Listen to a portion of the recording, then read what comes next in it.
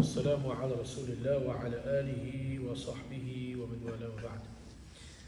عن أنس رضي الله عنه عن النبي صلى الله عليه وسلم قال لا يؤمن أحدكم حتى حتى يحب لأخيه ما يحب لنفسه. متفق عليه. Another hadith which is agreed upon by both Al-Imam Bukhari and Al-Imam Muslim with regards to its authenticity narrated by Anas ibn Malik we know served our beloved Prophet ﷺ for 10 years may Allah be pleased with him and with all the illustrious companions of our beloved Prophet ﷺ عن النبي صلى الله عليه وسلم from the Prophet peace and blessings of Allah be upon him he said لا يؤمن أحدكم حتى يحب لأخيه ما يحب لنفسه The Prophet said صلى الله عليه وسلم that none of you believe None of you believe. La yu'minu ahadukum. Hatta, until. So we cannot call ourselves true believers unless we find this attribute within ourselves. What attribute is that? Hatta yuhibba li akhihi ma yuhibbu li nafsi. None of you truly believe until they love for their brother what they love for themselves. You know, I pondered over this because people are always talking about what is success, especially in the dunya. We know that ultimate success is only in the akhirah. فَمَنْ زُحْزِحَ عَنِ النَّارِ وَأُدِخِلَ الْجَنَّةَ فَقَدْ فَازَ وَمَنْ حَيَاةُ الدُّنْيَا إِلَّا مَتَاعُ الْغُرُورِ Allah subhanahu wa ta'ala says, whoever is saved from the fire and entered into paradise, then they are successful. They've succeeded.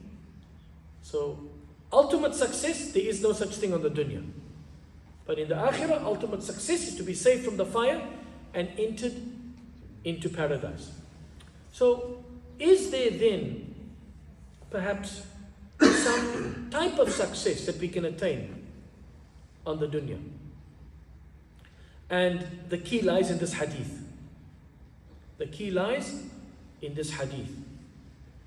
And that is number one, if you truly want to be successful in this world, and success is not measured by money, material possessions, status, position, you know, academic certificates hanging on the wall, tribe, race. But how is success measured? قال رسول الله صلى الله عليه وسلم ليس الغنى عن كثرة العرض ولكن الغنى غنى النفس True wealth Again, that is the worldly perspective of success. People measure success by, by wealth and the like thereof. The Prophet said, وسلم, he said, ليس الغنى عن كثرة العرض. True wealth is not measured by material possession, but true wealth is measured by the satisfaction of the heart. Like that Sahabi who was walking through the market of Medina, and he was shouting at the top of his voice, Ana aghna nas, ana aghna nas, I'm the richest of all people. When the people looked at him, they saw, but this man is poor. His He's still tattered, and he's got a stone tied to his belly to fight the pangs of hunger. There must be something wrong with him. So they took him to the Prophet ﷺ and said, Ya Rasulullah, inna hadha rajul لا يخلو له إلا نداء في الأسواق أنا أغنى الناس. He said, O Messenger of Allah, nothing comes from this man except a shout at the top of his voice in the marketplace, I'm the richest of all people. So the Prophet asked him, Sallallahu Alaihi Wasallam, Are you truly the richest of all people? The man smiled and said, Na'am ya Rasulullah. Indeed, I am a messenger of Allah. The Prophet asked him, Waqif. The Prophet understood, but he wanted to teach Sahaba a lesson.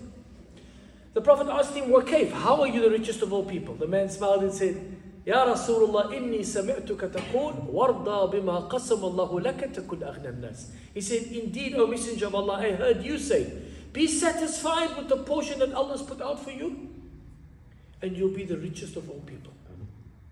So this man had contentment.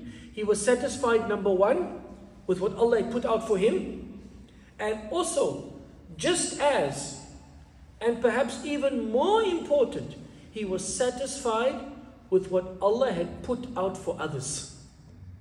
This is a very, very important part of attaining success on the dunya. We cannot be successful unless we are satisfied with our portion and we are also unsatisfied for the portion that Allah has granted others, even if it is over us. For indeed, Allah subhanahu wa ta'ala prohibits us when He says, وَلَا تَتَمَنَّوْا مَا فَضَّلَ اللَّهُ بِهِ بَعْضَكُمْ عَلَى بَعْضٍ Do not desire those things with which Allah has favored some of you over others. And we know about uh, the dangers of hasad, envy. When a person sees something that Allah has granted somebody else, and a person wishes it away from that person. That's the definition of hasad.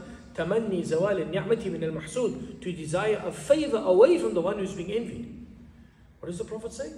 Sallallahu Alaihi Wasallam, he said, Al-hasadu ya'kul al-hasanat kama ta'kul al-nar al-hatab. Envy eats away at a person's good deeds, like the fire eats away at the firewood. So in that case, if we are not satisfied with what Allah has put out for others, and we can't be happy for them, and say, MashaAllah, Tabarakallah, Zadakallah, then we'll never attain any type of success on this dunya. Allah make us of those who truly love for each other, what we love for ourselves وآخر دعوانا أن الحمد لله رب العالمين والسلام عليكم ورحمة الله وبركاته